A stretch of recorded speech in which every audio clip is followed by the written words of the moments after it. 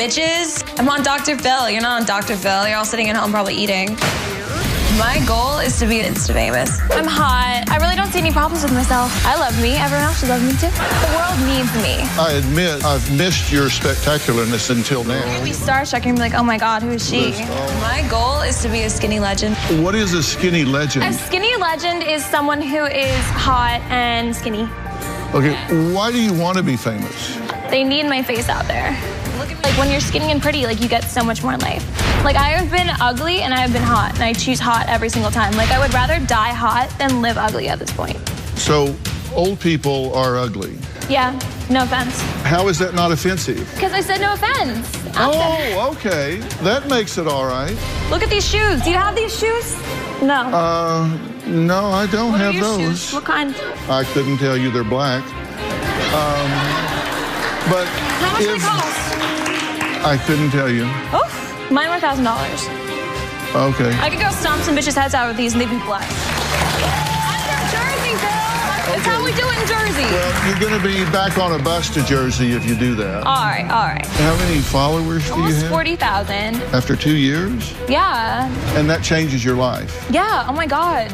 Well, I, I have a YouTube channel, and, and last year I had two billion views, and it didn't change my life. When you're popping on social media, like you get all kinds of stuff. Like I get free laxative teas. How many of you, if you were going to follow somebody out of interest, just by applause, how many of you would follow Ava?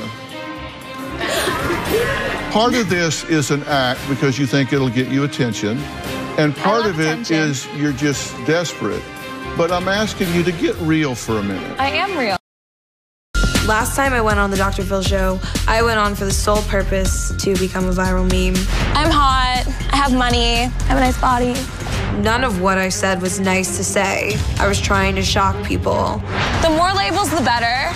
Because I like shoving it in poor bitches' faces. Every single move I made on that show was calculated and well thought out. Well, I feel like with my Instagram, I have influenced like a lot of people to be hotter. I've made all my friends lose weight and like be better looking. I definitely wasn't ready to listen to anything Dr. Phil had to say at the time. If I lost all my followers tomorrow, I wouldn't care. Fame is temporary and soul sucking. I'm meant for so much more in life than just posting pictures of my butt on the internet for everyone to see. Hi. How are you? Fantastic. How are you, Phil? I still think I'm hot, and I know I'm hot. But I have a real confidence in myself now that doesn't just come from how I look. Six months ago, after getting my nose broken by a crack whore, my life was falling apart right in front of me and I lost control completely.